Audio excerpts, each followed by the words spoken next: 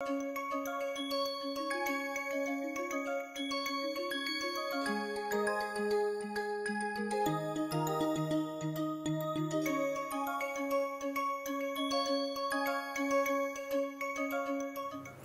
have discussed the shear sense indicators and typically from mineral fish how to have an idea of high shear strain, low shear strain and sometimes if we are getting a parallelogram shaped mica fish how to obtain the shear strain. Then what is my expectation if there is any shear zone where Poiseuille flow and shear etc. has happened has been discussed. So the mineral fish part is over.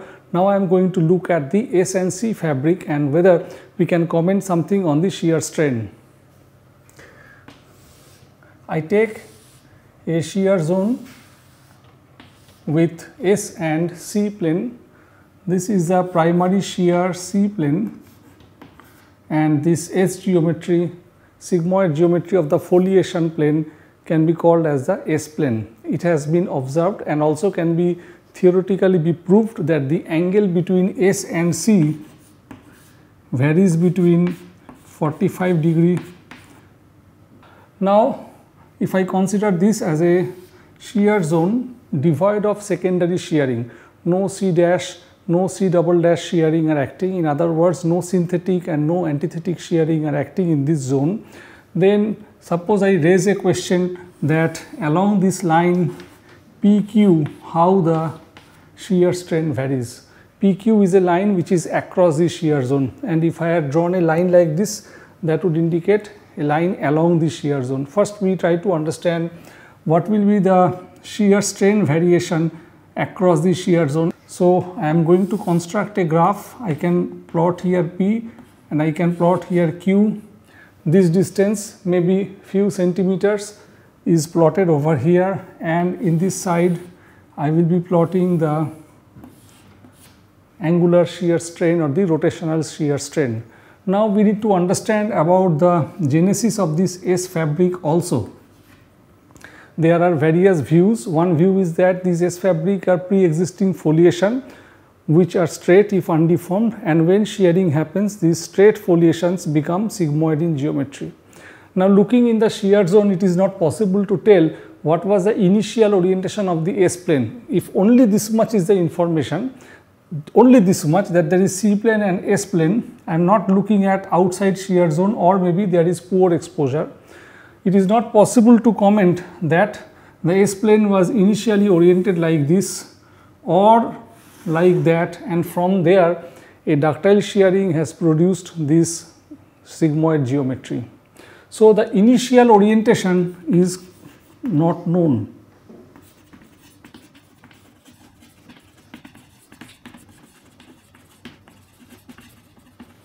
commonly not known, but there can be some cases where we may be able to understand what is the orientation of the S plane. Suppose outside the shear zone we are getting this kind of orientation of unsheared foliation plane, then through field work we may be able to comment that these foliations inside has become this sigmoid geometry. In that case we say this is the initial orientation. So, this is one of the views that they are the pre-existing foliation planes that during shearing attains a sigmoid geometry. There is a second view. The second view is that within a future shear zone, future shear zone means I am going to put half arrows here and then the shearing will act. There may be randomly oriented mineral grains, let us take micas and if you apply a shear, these minerals take an overall orientation like this defining the S geometry. If that is the case then finding out shear strain as per what I am going to speak will may not be correct. So, what I am going to talk right now will be our case 1 that there are pre-existing foliation planes if that can be established then for sure we can plot or give some idea about the shear strain variation. Okay. Now, suppose it is the case that in the field I have identified the initial orientation of the foliation outside the shear zone and the final orientation, then I can take several points on the S plane and I can draw small tangents on each of these points. Now, what was the orientation of these tangents before the deformation? The orientation was, now I am redrawing because it is getting clumsy. Say this is the geometry, take this point, this point was here before deformation, slow deformation, very slow rate millimeter per year, so laminar flow has happened. So, here is a tiny tangent and here the initial orientation position of the point if I draw a tangent that basically merges with the initial position of the marker. So, what is the angle between them I can find out like I can extend this line and find let us say this is my angle psi 1. Like this at point to point if I keep on finding out the shear strain we can find that approximately in the middle of the shear zone approximately here this is the place of low amount of psi and these the boundaries of the shear zones are the places where we have a high amount of psi. So, therefore, the plot will be something like this from P point over here from one of the boundaries of the shear zone the shear strain falls it may not be 0 and then again it goes up. The exact nature of this curve can be worked out it may be straight line or curve which we can check I can draw a sigmoid geometry here or take a real S fabric from the field by taking photograph and on the photograph we can keep on drawing tangents and then exactly plot and see how the shear strain varies in the shear zone. Now in the same shear zone if I go few kilometers ahead I may find the S fabric is having a little bit different geometry. This sigmoid and that sigmoid are not exactly of same geometry. So here if we plot psi versus the distance PQ distance exactly same curve will not come some variation in curve will come but we understand that whatever be the S geometry it is broadly speaking at the boundary it is having a high shear strain and falls and goes up and in, in case of psi if I take tan psi another parameter of the shear strain then also such pattern will be found there is a decreasing and then the increasing pattern. I am not going to get 0 shear strain in the middle because you can see at no position these tangents are parallel to this orientation of the line. So, this is an overall idea what we understand about the from the SC fabric and the shear zone. Now, having said this you can understand or you can now compare with a Poiseuille flow pattern through a horizontal channel like this as I have drawn and a typical shear zone what is more found in structural geology. The Poiseuille flow is not has still not entered the structural geology textbook, but in some of the advanced uh, plate tectonics books numerical models there they have started referring the Poiseuille flow. So, that is the one and the SC fabric is described in almost all the structural geological textbooks. So, this is a textbook example of shear zone, this is the Poiseuille flow and the associated shear. Suppose I call this as P and Q and here also I say P and Q, then you can look at my previous lecture and you will find that from this point to this point the shear strain decreases to 0 because the tiny tangent here is parallel to that line. So, for the Poiseuille flow pattern something like this will be produced and this is typically the D point the middle of the shear zone. D point is the middle of the shear zone. And what about the SC fabric? Here you see the geometry is certainly not parabolic. So, the tangents and the angles at each of these points and here the angle will be different. So, I am expecting a curve something like this that the shear strain falls and goes up, but this yellow curve and this curve are not going to superpose, they are not congruent to each other. So, what we find is that in case of a Poiseuille flow, shear strain at the margin is highest and in the middle it is lowest. In case of SC fabric and the classical shear zone described by so many persons in structural geology textbooks and research paper, shear strain is maximum at the boundaries and the middle it is minimum. Then what is the difference in case of an ideal Poiseuille flow, the shear strain in the middle is equal to 0. So, that curve touches the x axis whereas here there is no such point where I can draw a tangent which is parallel to that line. So, in that case we may not find a point of 0 shear strain. So, the take home information from here is that in the middle of the shear zone there should be minimum shear strain and at the margins there should be maximum shear strain. Let me write that. So, what I said right now is that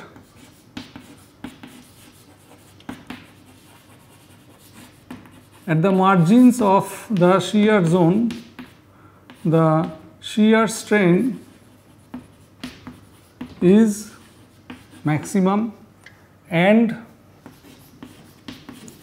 at the center it is.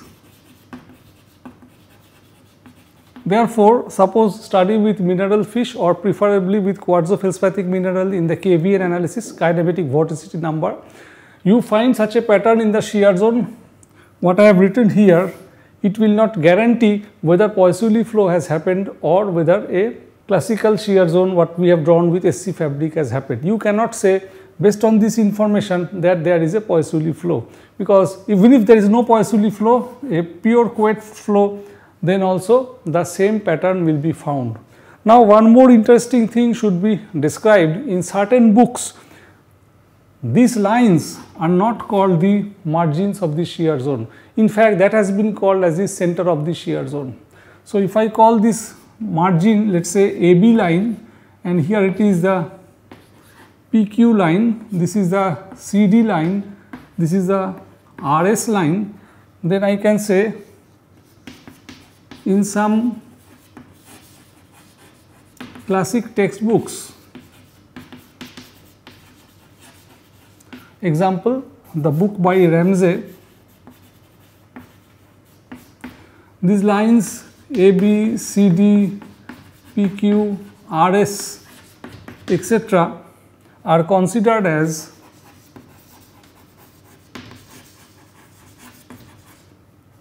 the center of shear zone and in such research papers or books they consider this as the margin of shear zone. So, if we define the center of shear zone and the margin of shear zone in just opposite to what I was talking, then this statement has to be changed. In that case, at the margins of the shear zone, shear strain is minimum and at the center it is maximum. To give an example, let us say this is a shear zone, some foliation is showing this kind of step pattern, then in Ramsay's book I think you will find that this is the margin of the shear zone. Why they say as if at the margin the shear strain is minimum. And where do they say this is the center of the shear zone? Such books will say this is the center of the shear zone where the shear strain is maximum. So, I hope it is understood there are two groups of geologists who will define the center and margin of shear zone in two different ways.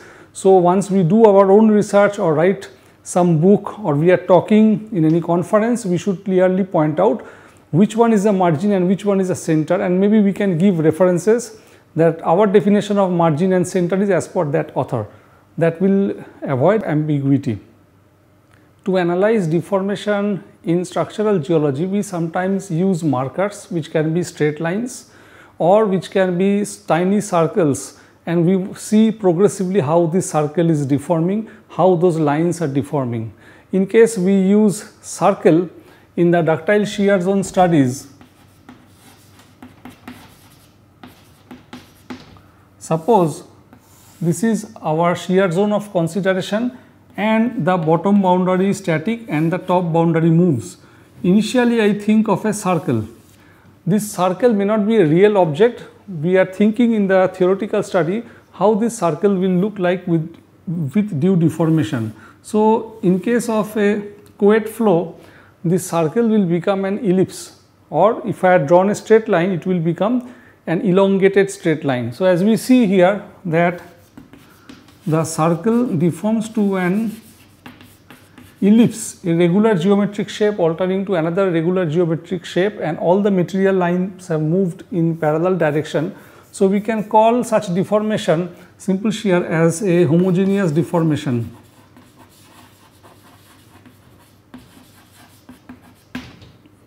And if we increase more shear, it will become an ellipse of higher ellipticity or higher aspect ratio. These words ellipticity and aspect ratio I have already discussed in my lecture.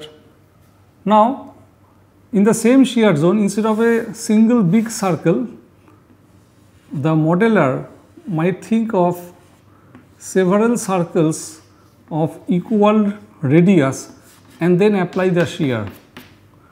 So, in this case if it is Newtonian viscous rheology we can understand that each of these circles will become ellipses. So, if we put a question here suppose we find out how the aspect ratio or the ellipticity of the big circle in this case keeps changing with its inclination.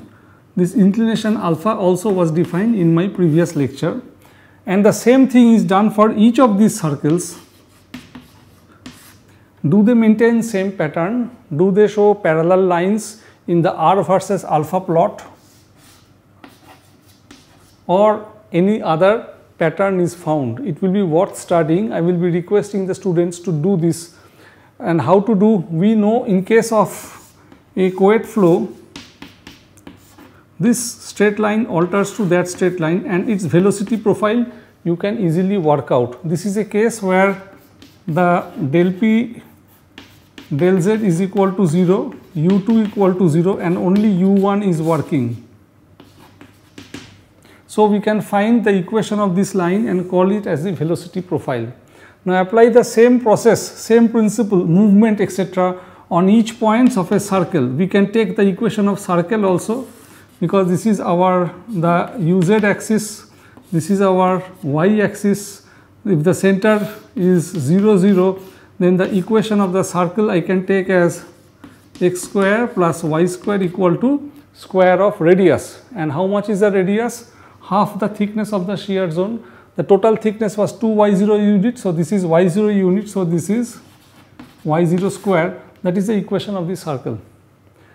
Now with this how the circle will become an ellipse? This ellipse equation e1 can be deduced E2 can also be deduced as E1 and E2 can be deduced. So, therefore, the R and alpha relationship also can be worked out for different angles of alpha.